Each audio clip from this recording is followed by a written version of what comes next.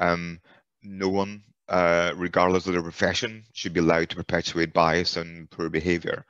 Um, calling out bad behavior um, does not need to be in person though. Um, and um, the option for anonymous reporting should always be there.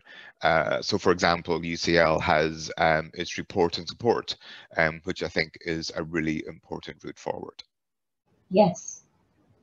This is a very challenging thing to do, but nevertheless, this is so very important. It is challenging because the problem is who evaluates it and how fair that is going to be. I think this needs to be addressed by those in leadership position from a very neutral perspective. And I think that this cannot be done alone by people in leadership positions. So there should be a genuine voice here, uh, say here, a panel here that involve people from different walks all the way. It's more um, in the first place, that itself should be more inclusive.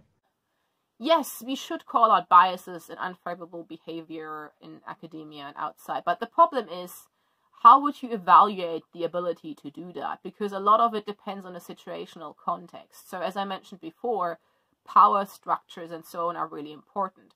So, I'm an early career researcher with a fixed term contract, so I'm quite close to the sort of bottom of the pecking order amongst the staff at the department. And yes, I have called out and will absolutely call out things happening amongst my students, for example, when I witness any sort of microaggressions or stupid jokes and so on. But for uh, on the other hand, I was once harassed by a professor from a different department, and I did not report that one because the power imbalance was so strong that I was legitimately scared of just of simply losing my job if I reported it. And yeah, calling out bias should always be done, but in practice, it isn't always safe to do so. So I'm not quite sure how you would sort of numerically evaluate the ability to call out bias and unfavorable behaviors? My view is yes, absolutely. So at King's, the promotion criteria talks about evidence of collegiality. That's great. That's a, a, a solid start, but but that's that's that's not enough, to be honest.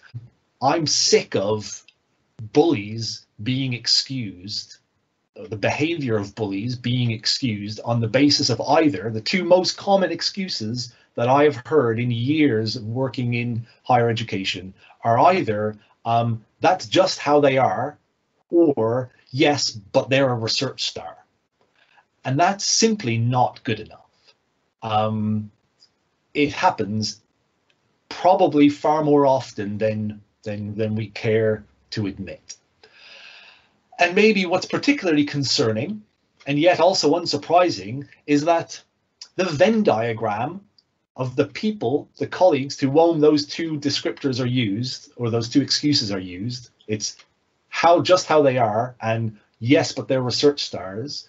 Those two circles of a Venn diagram will basically overlap in in most cases, and that's it's not that's not good enough.